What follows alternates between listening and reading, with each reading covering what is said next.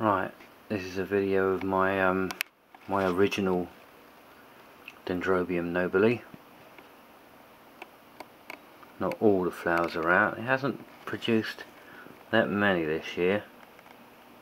I think with these you need to let them shrivel up to produce flowers and I think not I didn't let it shrivel up enough so it's only going to produce four I think it is this year.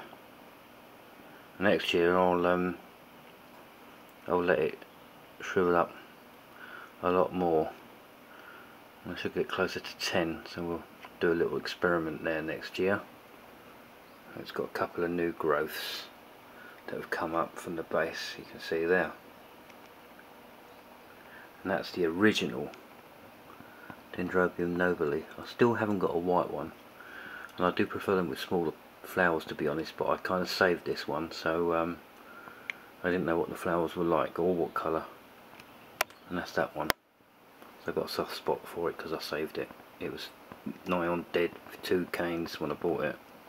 it in out in the cold and soaking wet. Opposite a place called Capel Manor. I bought it for £2.50 it's doing alright. Next year it will be even bigger with a lot more uh, flowers and that's the uh, Dendrobium nobile.